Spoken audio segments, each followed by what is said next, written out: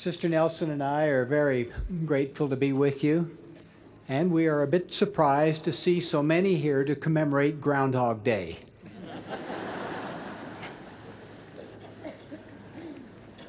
we appreciate the attendance of President Rex E. Lee, President Kerry Romesburg, their companions and associates from faculties and staff of the Brigham Young University and the Utah Valley Community College. We're also thankful for President Errol Phippen, our regional representative, stake presidents, bishops, partners, and all who give so much that students and welcome visitors may be edified here. Last night, not only were they edified here, but they were thrilled by BYU's exciting win over Utah, UTEP. Congratulations, Cougars. Tonight's meeting concludes the annual Book of Mormon Symposium, which is focused intensively on the Book of Helaman and the first 10 chapters of 3rd Nephi. I find it intriguing that scholars can feast for days on a banquet based on less than 60 pages. It's somewhat reminiscent of another phenomenon that I've also found to be most fascinating. I once regularly attended meetings of the American Heart Association, mingling with thousands of fellow scientists from many institutions and diverse disciplines, all congregated to learn more about the human heart. Surely God's gifts are great, and their importance is infinite. How blessed we are to be recipients of both His Word and of His works. My lifelong interest in the human heart took an unexpected turn in April 1984 when I was called to leave the operating room of the hospital and enter the upper room of the temple. There I became an ordained apostle of the Lord Jesus Christ. I did not seek such a call, but have humbly tried to be worthy of that trust and privilege of being his representative, now hoping to mend hearts spiritually as I previously did surgically. So I come to you as one who has been called, sustained, and ordained, one of the twelve special witnesses of our Lord and Master. In speaking with you, I sense our mutual desire and sacred responsibility to follow this vital theme from the Book of Mormon. We talk of Christ, we rejoice in Christ. We preach of Christ and we prophesy of Christ. We honor him as the most important individual ever to live on planet Earth. He is Jesus the Christ, our Master, and more. He has numerous names, titles, and responsibilities, all of eternal significance.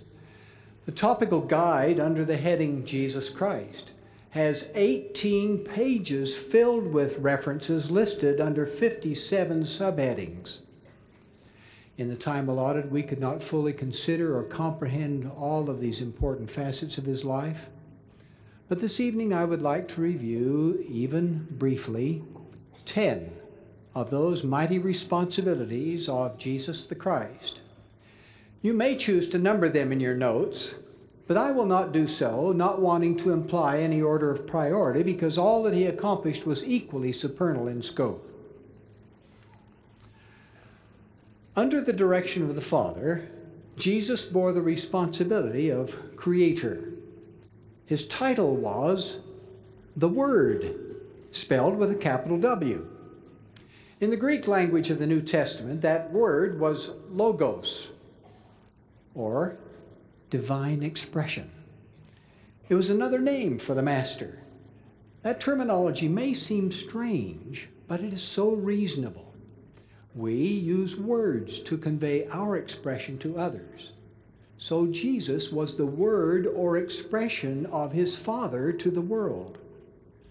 The Gospel of John begins with this important proclamation In the beginning was the Word and the Word was with God, and the Word was God.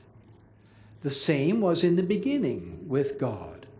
All things were made by him, and without him was not anything made that was made.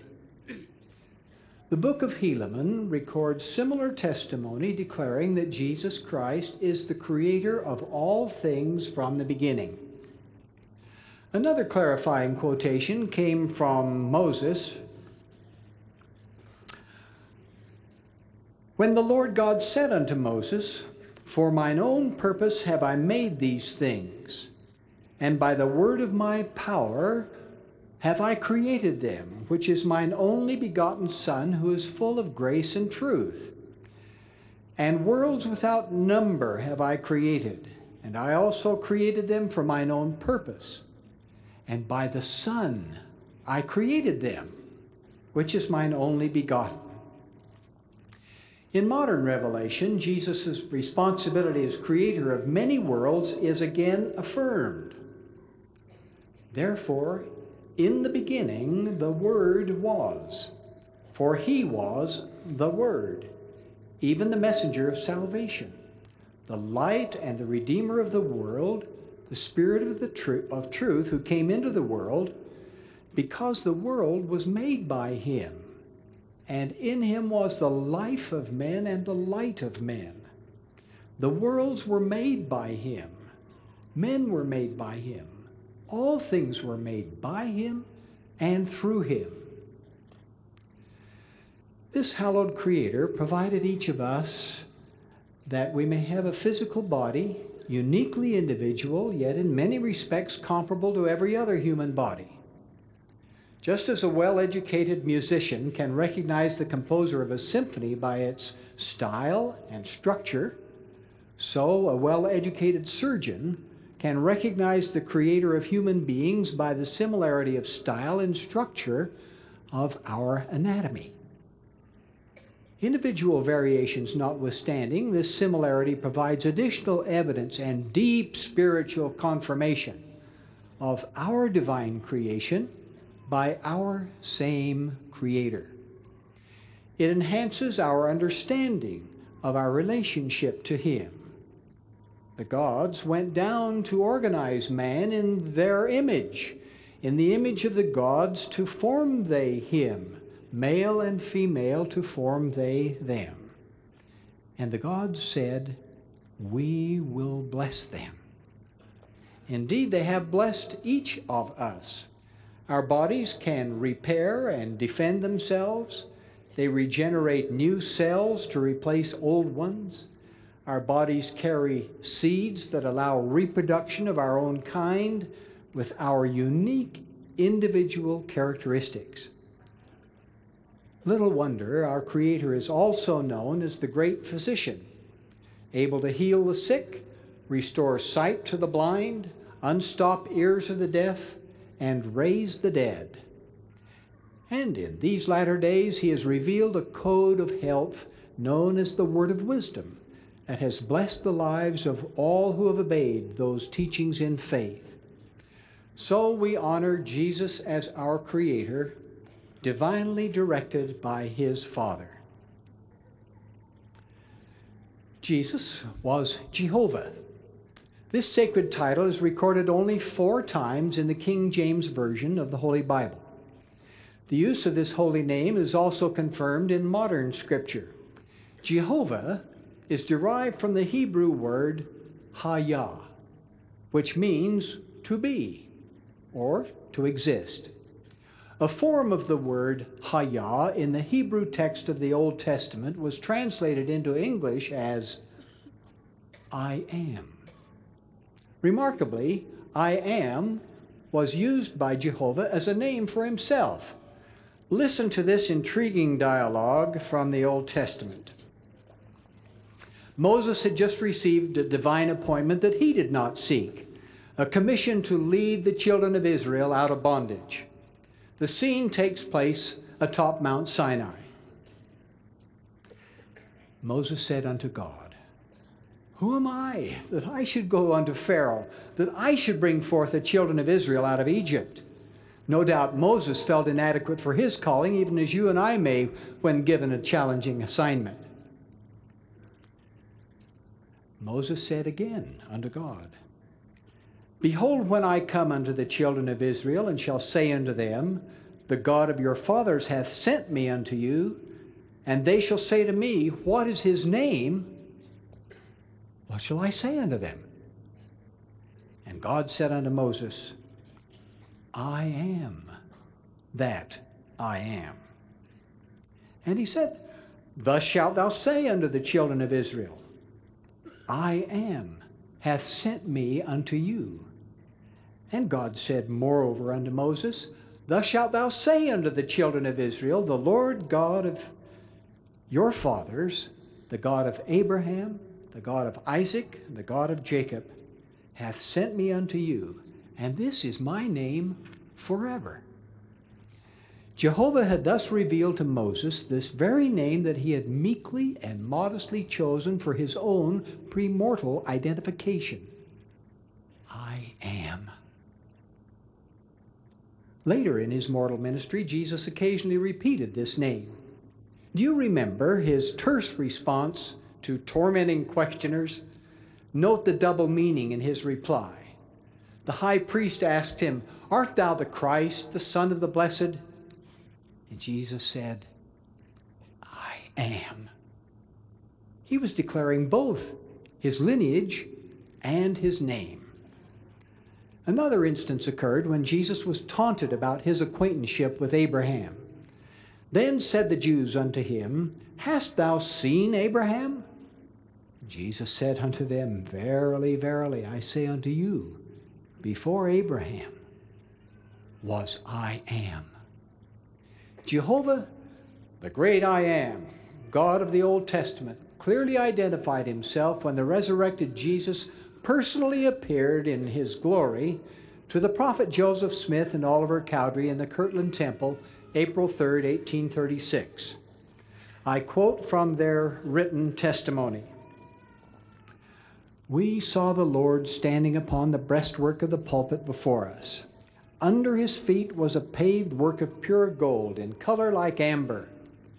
His eyes were as a flame of fire. The hair of his head was white like the pure snow.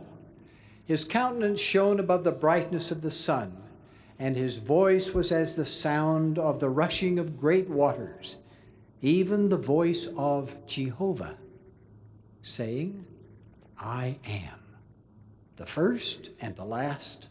I am he who liveth, I am he who was slain. Jesus personally fulfilled his responsibility as Jehovah, the great I am, with eternal consequence. Jesus is our advocate with the Father.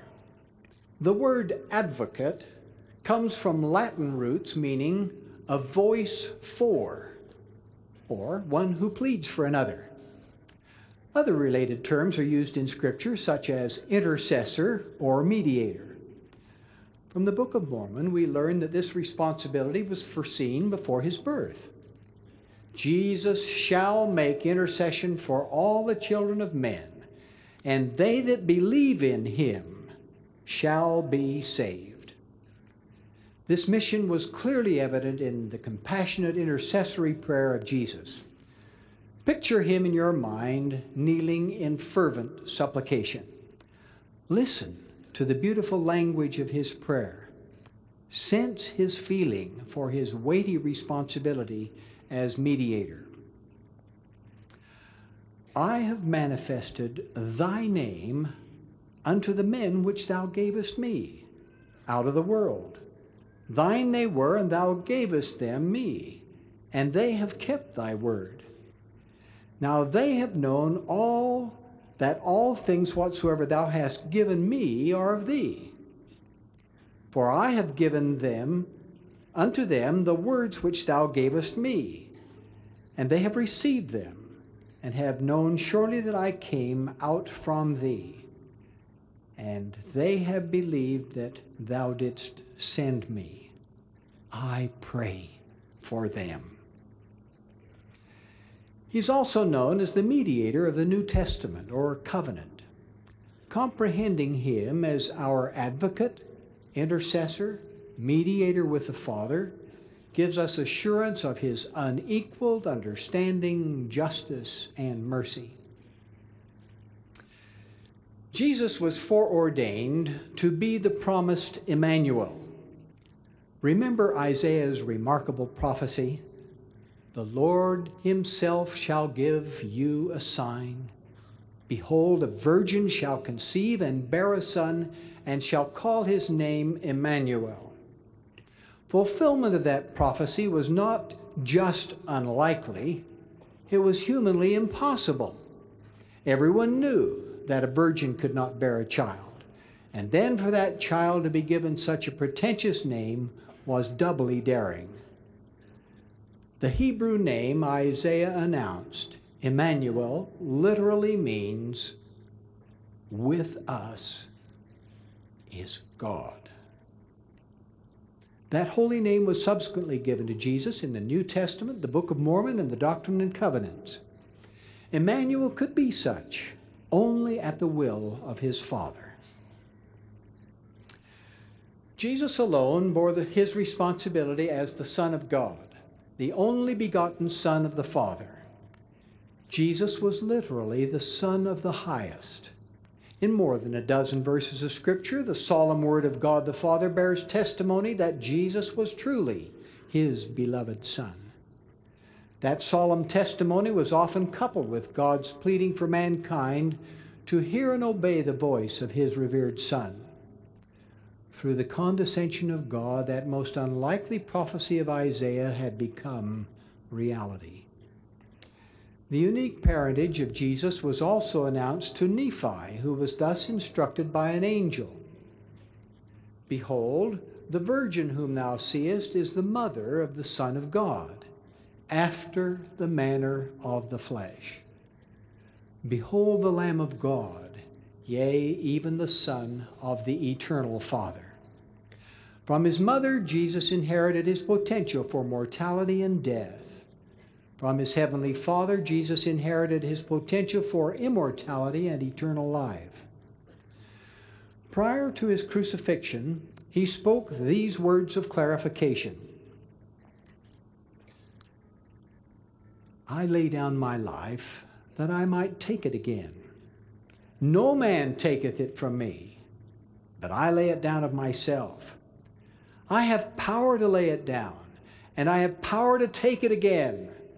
This have I received from my Father. Though separate from his heavenly Father in both body and spirit, Jesus is one with his Father in power and purpose. Their ultimate objective is to bring to pass the immortality and eternal life of man. Some of you may wonder why the Son is occasionally referred to as the Father. The designation used for any man can vary. Every man here is a son, but also may be called father, uncle, brother, or in some of our cases, grandfather, depending upon the conversational circumstance. So we must not allow ourselves to become confused regarding divine identity, purpose, or doctrine. Because Jesus was our Creator, He is known in Scripture as the Father of all things. But please remember, Jesus Christ is not the Father of the spirits who have taken or yet shall take bodies upon this earth, for he is one of them. He is the Son, as they are sons or daughters of Elohim. We comprehend that distinction well when we pray to our Heavenly Father in the name of His Son, Jesus Christ, through the power of the Holy Ghost. And as we do so regularly, we honor our heavenly and earthly parentage just as Jesus honored his as the Son of God. God anointed Jesus of Nazareth with the Holy Ghost and with power. So Jesus was the anointed one. Because of this fact, he was accorded two specific titles. One was the Messiah, which in Hebrew means the anointed.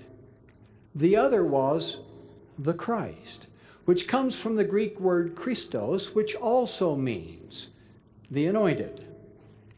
Thus, Jesus is spoken of as the Christ and the Messiah, which means he is the one anointed of the Father to be his personal representative in all things pertaining to the salvation of mankind. Scriptures declare that Christ is the only name under heaven whereby salvation comes. So you may add either of these titles to signify your adoration for Jesus as the Christ or as the Messiah, anointed by God for that supernal responsibility. Jesus was born to be Savior and Redeemer of all mankind. He was the Lamb of God who offered himself without spot or blemish as a sacrifice for the sins of the world. Later, as the resurrected Lord, he related that sacred responsibility to the meaning of the gospel, which he described in one powerful passage Behold, I have given unto you my gospel. This is the gospel which I have given unto you, that I came into the world to do the will of my Father, because my Father sent me. And my Father sent me that I might be lifted up upon the cross. Thus, Jesus personally defined the godspel. This term comes from the Old English gospel, which literally means good news. The good news is that Jesus Christ has made a perfect atonement for mankind that will redeem all mankind from the grave and reward each individual according to his, her works. This atonement was begun by his appointment in the premortal world, but was worked out by Jesus during his mortal sojourn. His atonement had been foretold long before Jesus was born in Bethlehem. Prophets had so prophesied his advent for many generations. Since this year's Book of Mormon symposium is focused on Helaman, let us sample from its record, written some 30 years before the Savior's birth. Remember that there is no other way nor means whereby man can be saved only through the atoning blood of Jesus Christ, who shall come. Yea, remember that he cometh to redeem the world. His atonement blesses each of us in a very personal way. Listen carefully to this explanation from Jesus. For behold, I, God, have suffered these things for all, that they might not suffer if they would repent. But if they would not repent, they must suffer even as I, which suffering caused myself, even God, the greatest of all, to tremble because of pain, and to bleed at every pore, and to suffer both body and spirit. And would that I might not drink the better cup and shrink. Nevertheless, glory be to the Father. And I partook and finished my preparations unto the children of men. Jesus fulfilled his glorious promise made in pre earthly councils by atoning for the fall of Adam and Eve unconditionally and for our sins upon the condition of our repentance. His responsibility as Savior and Redeemer was indelibly intertwined with his responsibility as Creator. To shed additional insight on this relationship, I would like to share a remarkable quotation that I found in a rare book in London one day while searching through the library of the British Museum. It was published as a 20th century English translation of an ancient Egyptian text from the first century. It was written by Timothy, patriarch of Alexandria, who died in 385 AD. This record refers to the creation of Adam. Premortal Jesus is speaking of his father. He made Adam according to our image and likeness. And he left him lying for 40 days and 40 nights without putting breath into him. And he heaved sighs over him daily, saying, If I put breath into this man, he must suffer many pains. And I said unto my father, Put breath into him, I will be an advocate for him. And my father said unto me, If I put breath into him, my beloved son, thou wilt be obliged to go down into the world, and to suffer many pains for him before thou shalt have redeemed him, and made him to come back to his primal state. And I said unto my father, Put breath into him. I will be his advocate, and I will go down into the world and will fulfill thy command. Jesus' responsibility as advocate, Savior, and Redeemer was foredetermined in premortal realms and fulfilled by his atonement. Your responsibility is to remember, to repent, and to be righteous. Closely allied to the Lord's status as Savior and Redeemer is his responsibility as judge. Jesus revealed this interrelationship after he had declared his definition of the gospel, which you have just cited. As I have been lifted up upon the cross by men, even so should men be lifted up by the Father to stand before me to be judged of their works, whether they be good or whether they be evil. Therefore, according to the power of the Father, I will draw all men unto me that they may be judged according to their works.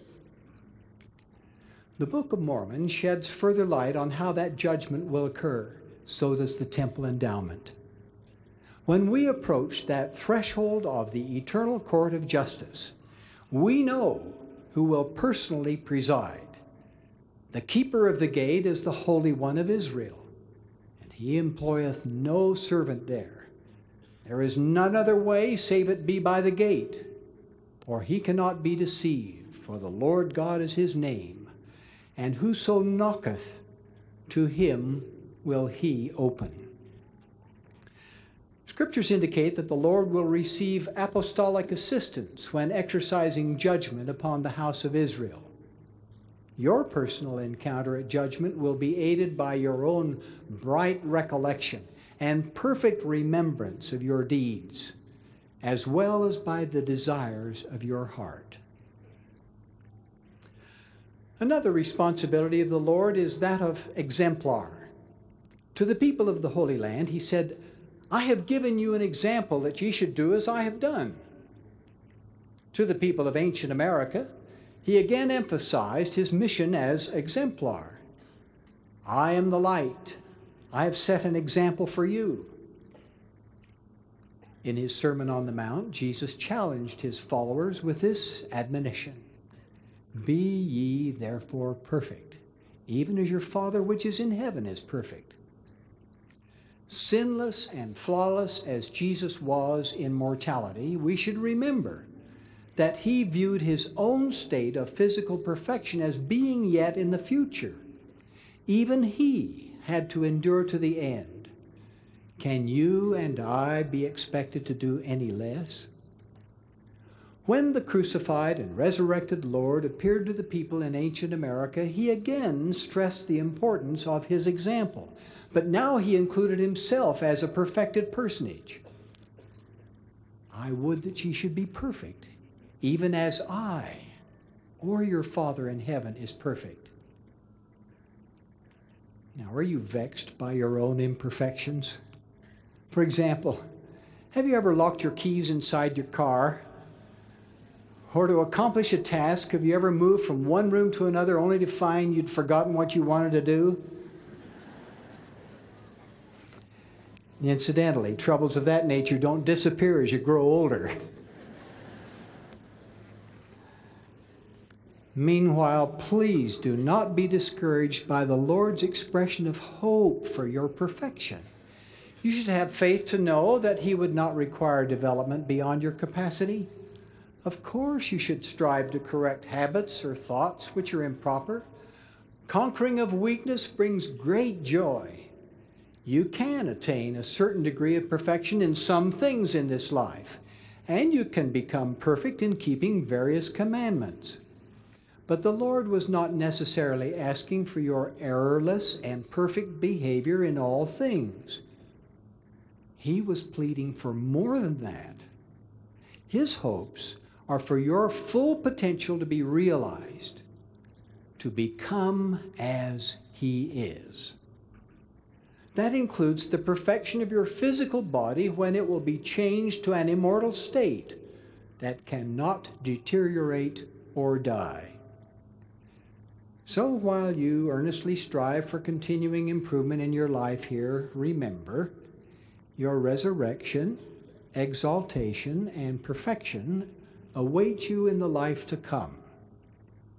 That precious promise of perfection could not have been possible without the Lord's atonement and his example.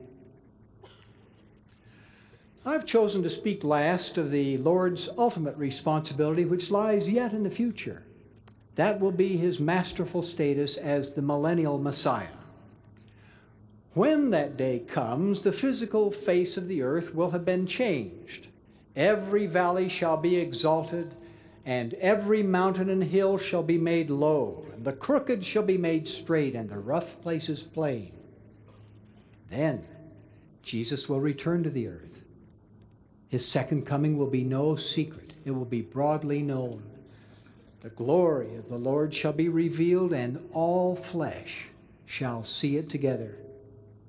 Then the government shall be upon his shoulder, and his name shall be called Wonderful, Counselor, the Mighty God, the Everlasting Father, the Prince of Peace. He will govern from two world capitals one in Old Jerusalem and the other in the New Jerusalem, built upon the American continent. From these centers, he will direct the affairs of his church and kingdom. Then he shall reign forever and ever. In that day, he will bear new titles and be surrounded by special saints. He will be known as Lord of Lords and King of Kings and they that will be with him will be those who are called and chosen and faithful to their trust here in mortality. He is Jesus the Christ, our Master and more. We have discussed but 10 of his many responsibilities Creator, Jehovah, Advocate with the Father, Emmanuel, Son of God, Anointed One, Savior and Redeemer, Judge, Exemplar, and Millennial Messiah. As his disciples, you and I bear mighty responsibilities too. So I now speak in a very personal tone. In my lifetime, I have visited all 50 states in the USA. I have also set foot upon the soil of 86 other countries of the earth. Wherever I walk, it is my divine calling and sacred privilege to bear fervent testimony of Jesus the Christ. He lives. I love him. Eagerly I follow him, and willingly I offer my life in his service. As his special witness, I solemnly teach of him I testify of him. I also express my deep admiration and affection for each of you, my beloved brothers and sisters, along with my hope and blessing that you will bear your responsibility to know the Lord, love him, follow him, serve him, teach and testify of him, as do I. His church has been restored in these latter days to prepare the world and its people for his second coming. I so testify in the name of Jesus Christ. Amen. For more information on this program, please visit our website at byubroadcasting.org. This Brigham Young University devotional by Elder Russell M. Nelson was given February 2nd, 1992.